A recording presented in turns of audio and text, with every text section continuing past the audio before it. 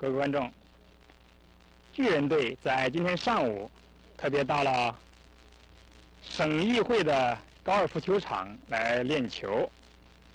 这是一个山明水秀、环境很优雅的地方，对于小孩子们来练球的确是非常的适合。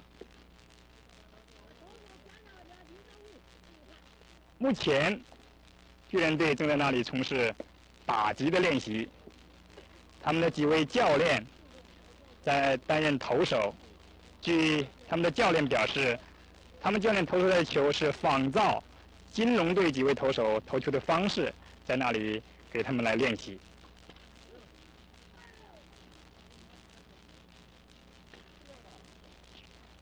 巨人队的教练方俊林今天早晨告诉我说，巨人队的球员目前的情况都非常的好，他们的士气也很高。同时，每位球员都具有信心，能够赢取最后的一场决胜负的这个比赛。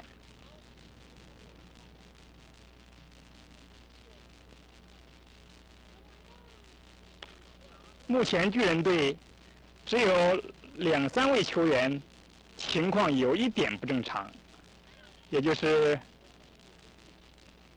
手伤还没有好的林文崇。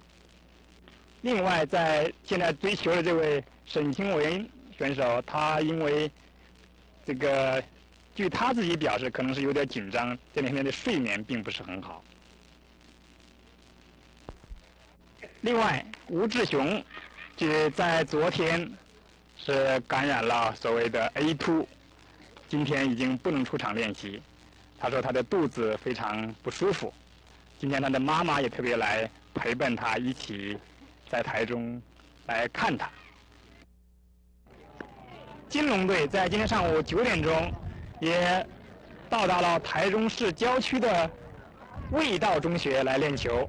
这里的场地虽然没有雾峰那边的场地大，但是据说这个场地还非常的标准。现在他们正在从事打击的练习。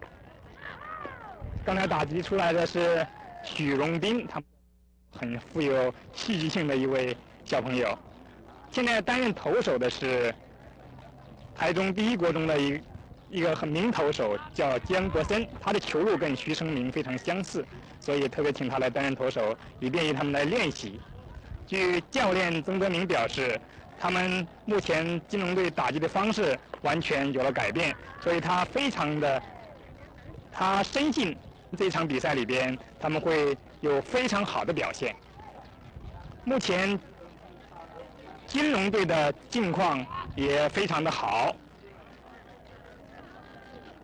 球员们由于占了天时地利人和这多方面的条件，情绪的高昂当然不在话下。据说金龙队有一两位小朋友也感染了感冒，但是他们的教练却否认这件事。现在他们正在练习打击。金龙队的许荣斌在昨天晚上曾经受到了一些个喜爱他的小姐们的这个欢迎，特别到旅馆里边去看他，那么并且送上了水果给他们来加油。可是今天我问许荣斌的时候，许荣斌却一口否认，他笑嘻嘻的摇头说没有这回事儿。二十一号。呃，金龙对巨人之战呢是最后一场的比赛，那么这场比赛啊，呃，可能是观众最多的一天，呃，预料外县市来的观众呢也不在少数。我们请王局长谈一谈对这一天的比赛啊，您对这个大会秩序上的维持和一些安全措施上的准备。是的。